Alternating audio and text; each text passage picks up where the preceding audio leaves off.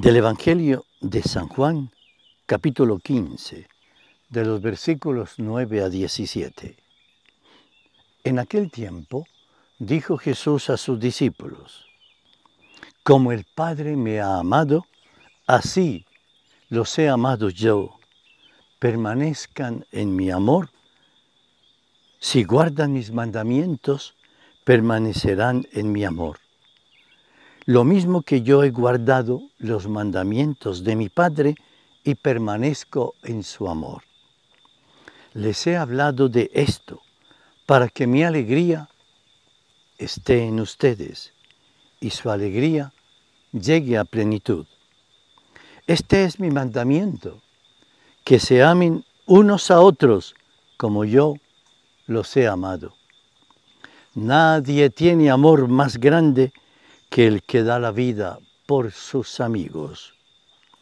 Ustedes son mis amigos si hacen lo que yo les mando. Ya no los llamo siervos, porque el siervo no hace lo que hace su Señor. A ustedes los llamo amigos, porque todo lo que he oído a mi Padre se los he dado a conocer. No son ustedes los que me han elegido, soy yo quien los he elegido y los he destinado para que vayan y den fruto y su fruto permanezca. De modo que lo que pidan al Padre en mi nombre, se lo dé. Esto les mando, que se amen unos a otros. Palabra del Señor. Gloria a ti, Señor Jesús.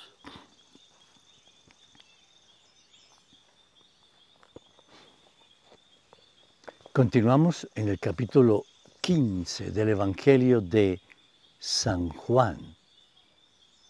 Si ustedes se acuerdan, hace ocho días, precisamente el domingo pasado, el Señor en este mismo capítulo nos decía que Él es como un árbol y que nosotros somos sus ramas.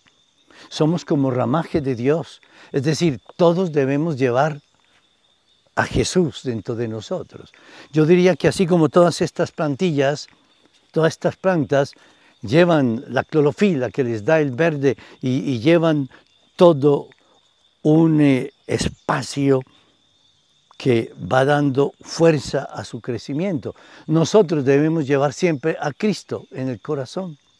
Donde quiera que estemos, nosotros debemos ser Cristo, porque somos rama de aquel tronco que es Él. Y por lo tanto participamos. ¿De qué participamos?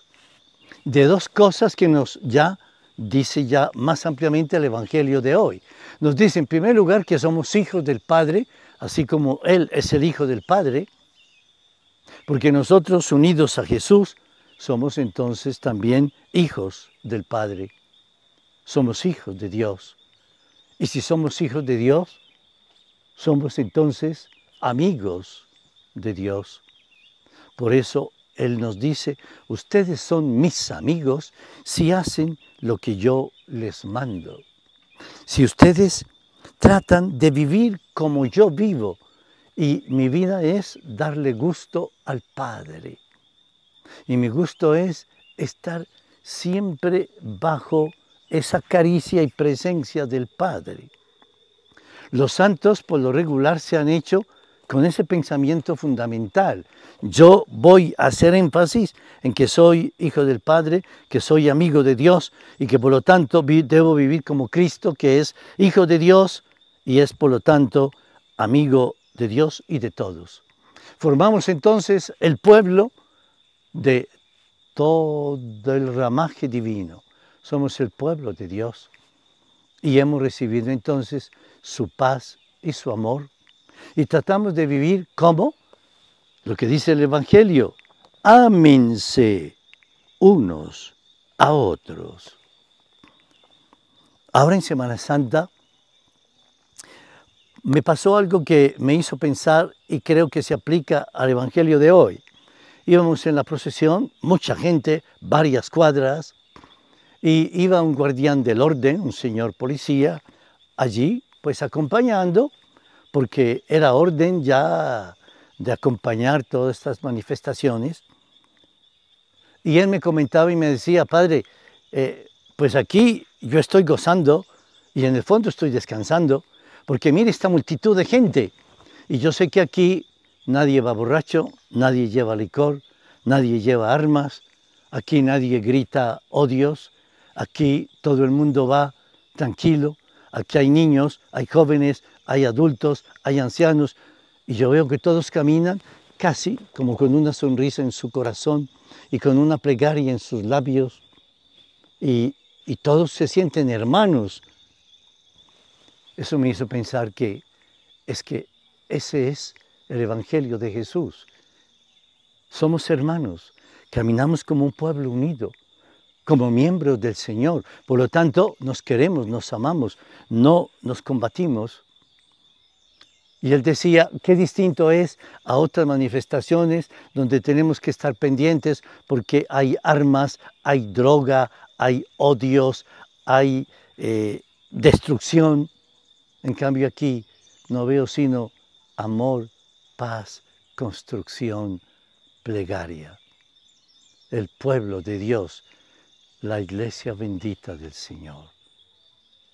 Seamos entonces iglesia del Señor, que en el amor mutuo vive este querer de Jesucristo hoy. Por eso, Señor, gracias por congregarnos en la iglesia. Gracias por hacernos hermanos. Gracias por invitarnos a amarnos unos a otros como tú nos amas. Nos bendiga el Señor hoy y siempre, en el nombre del Padre, del Hijo y del Espíritu Santo. Amén.